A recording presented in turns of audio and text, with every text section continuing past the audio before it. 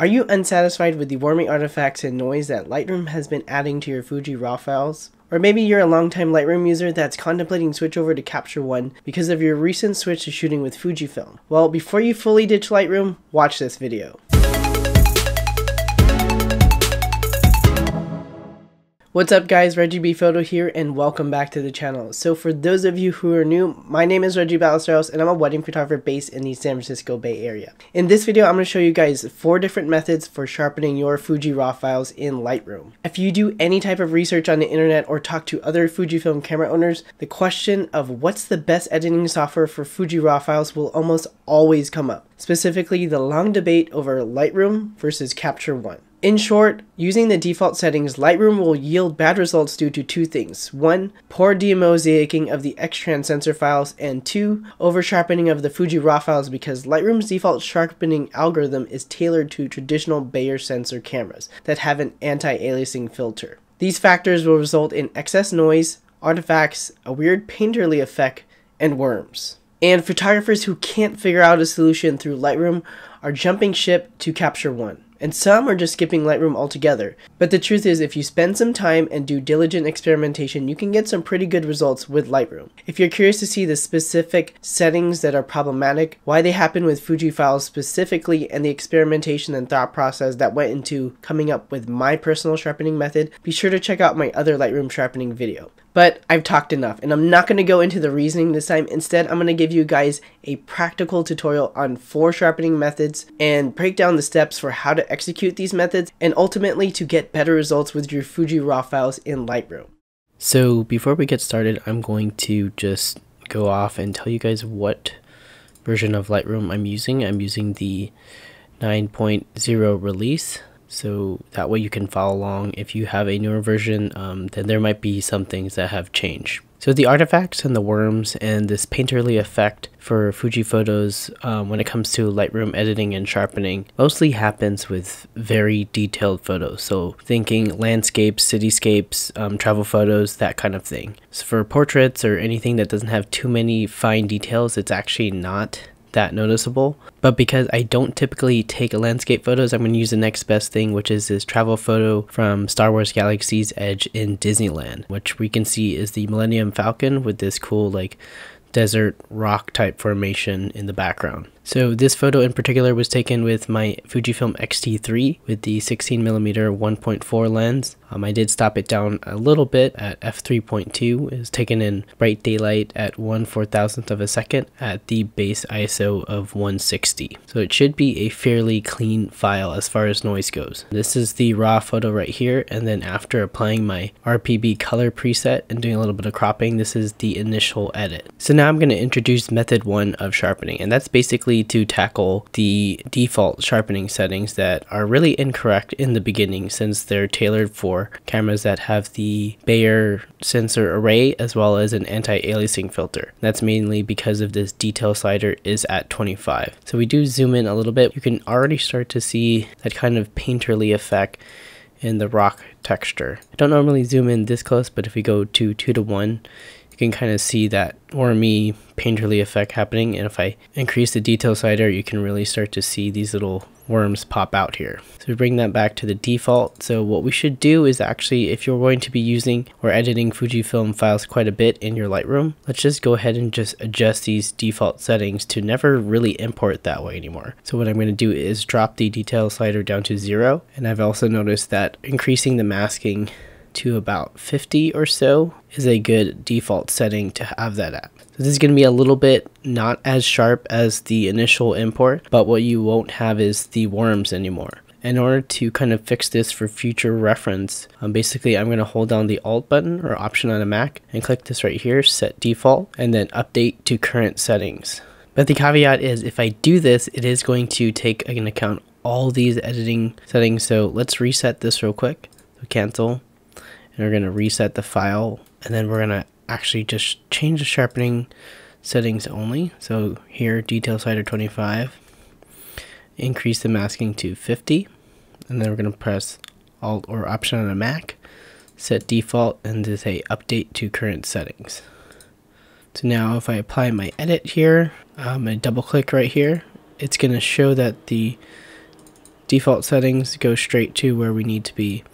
And right off the bat, this is going to give us a nice better starting point as far as sharpening settings go for all our Fujifilm files. So now I'm going to make a virtual copy of this photo so that we can start working on method two, which is to actually get in and start adjusting the sharpening sliders a little bit more with purpose. So here I'm going to just start by increasing increasing the sharpening amount. Um, I usually go around to like 90 or 100 or so. And then what I'm going to do is reduce the radius. Um, for very detailed photos, I'm going to bring the radius down to all the way down to 0.5. For portraits or anything with not too many fine details that you want to highlight, um, you can be at 1.0 to 0.9 for the radius. So now that I've got those dialed in, um, I'm going to tackle the masking, which are pretty much just going to target the transition between the actual subjects that are in focus and the out of focus area. So I'm going to hold down the Alt button and click down the slider and just drag this until the sky on the left side is no longer really being sharp. Here that's really kind of like at 80 or so. Okay, so now we're going to compare the two files and you can already see that there's a big difference between the photo that has no amount and masking versus the other one. So moving on, we're going to use some of the new features that Lightroom added in 2019, which is pretty much the enhanced details feature. So in order to do so, we're going to right click this thumbnail right here and go to enhanced details. You're going to press enhance. Then you're going to have to wait a little bit while this renders up.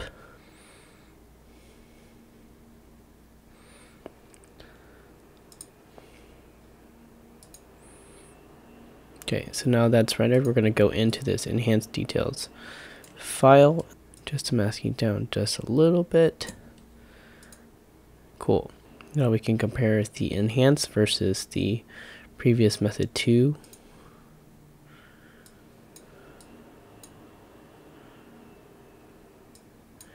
You can see that there's just a little bit more detail and texture versus this right here. We can look at the little piping and all the mechanical stuff going on here in the Millennium Falcon. There's just a tad more details, so it is improving things.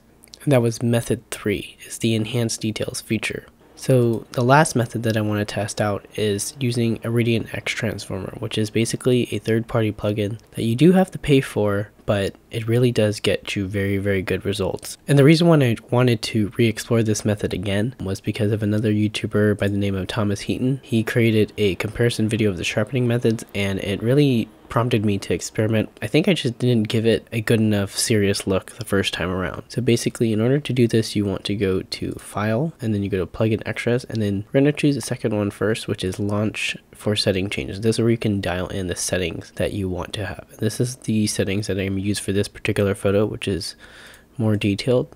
I'm going to have the sharpening set to medium. Um, this is beyond default, the luminance noise reduction to low, color noise reduction to low, and then this is default and everything else is pretty much default. So we're going to exit out and then we're going to go into file plugin extras and then process RAF to DNG and here this is going to pull up the Iridient X transformer and convert this to the DNG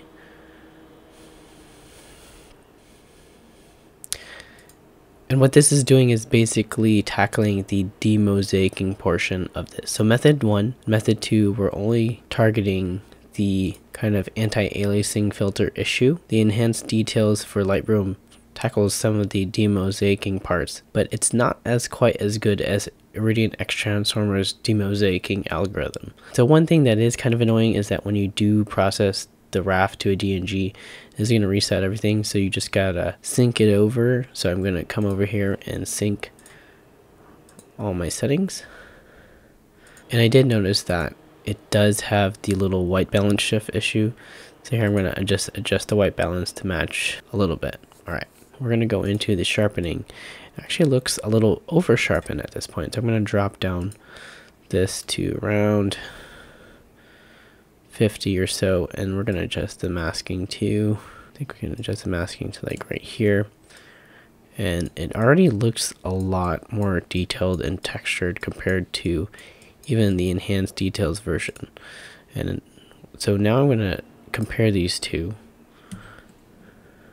So this is the Lightroom Enhanced Details, which we already seen was quite a big difference, versus the Iridient X Transformer conversion.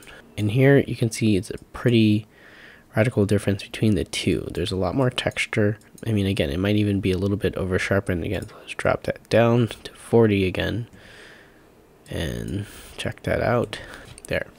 So you can already see a lot more texture in this photo versus the other one um, for the enhanced details. And if we compare the Radiant photo to, let's say, method 2, let's see if there's a big difference. So yeah, it's a drastic improvement um, between method 2, which is the method that I used last year, all of 2019, for all my photos. It's it's a crazy difference, so if you do want to invest the small investment to pay for Iridient X Transformer and the plugin, just look at this difference between what details you can get in a landscape type photo. So while the enhanced details will get you a little bit more details than without using it at all, um, the difference between enhance and Iridient X Transformer is is a big difference.